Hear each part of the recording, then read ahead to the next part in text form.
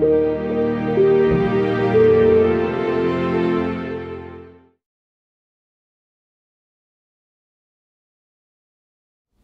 first glance, the differences between the two candidates for President of the United States in 2012, Barack Obama and Mitt Romney, are striking. One is black, the other is white. One paid off his student loans a few years ago, the other was born wealthy. One was formerly a community organiser, the other was a management consultant and private equity executive. Each candidate is doing his best to emphasise his differences from the other and most commentators have drawn sharp distinctions between the two candidates on foreign policy. Global perceptions of the two men are also noticeably different. Most of the Western world, including most Australians, want Obama to win. In truth, however, the foreign policy similarities between the two men are more striking than the differences. President Obama is not as left wing and dovish as many believe, and Governor Romney is not as right wing and hawkish as he would have us believe. President Obama has governed as a cautious realist, focused principally on America's national interests.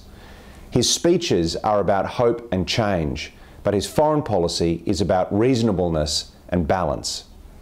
He's also demonstrated a clear willingness to use force sometimes unilaterally, to protect US security and interests.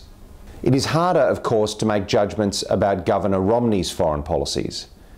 His few interventions on the topic have not been especially impressive. If we believe his rhetoric, then should he be elected, the foreign policy right wing is back in business. Romney has criticised Obama for being a serial apologiser, promised a more muscular approach toward America's adversaries, and vowed to usher in a new American century. But in my opinion, Romney's heart is not in it.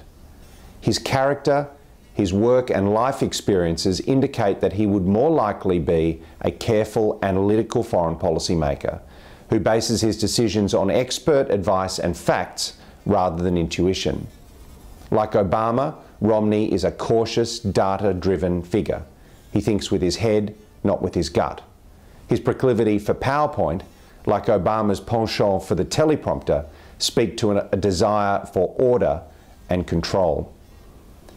There are many examples of foreign policy convergence between the candidates. For example, in Asia, Obama's strategy is to cooperate with Beijing, but he also intends to renew America's presence in the region and maintain a balance of forces at a time when there is significant uncertainty about China's future behaviour.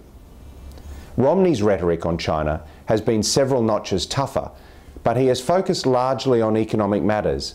I find it hard to imagine him buying into a clash of civilizations with China or muscling up to Beijing in a provocative manner.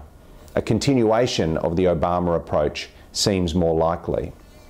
When it comes to Iran, Obama started off trying to engage the mullahs, but quickly toughened his policy to encompass a strong sanctions regime and covert and cyber campaigns to slow the nuclear program.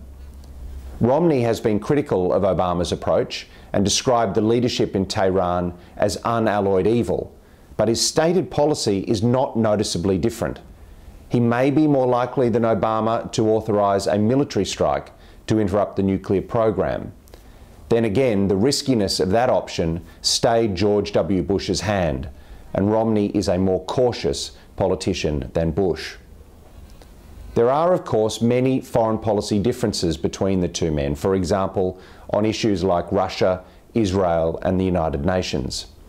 But the policy differences are less than is generally believed. To me, the most important contrast lies in their foreign policy experience. Obama has grown in office to become a skillful and effective commander in chief. If Romney were elected, he would have his own learning curve to climb. The biggest question mark concerns personnel. After nearly four years, we have a sense of the staff template Obama prefers highly competent, disciplined, and loyal policy engineers who are largely content to implement his vision rather than argue with him over it. Romney is a more malleable character so the identity of his foreign policy picks is likely to matter more. Still, even saying this, it is hard to discern a fundamental clash between the two men when it comes to their world views. And even if a President Romney were minded to make instinctive, bold decisions, the lessons the United States has learned so painfully in the past decade would constrain any tendencies toward adventurism.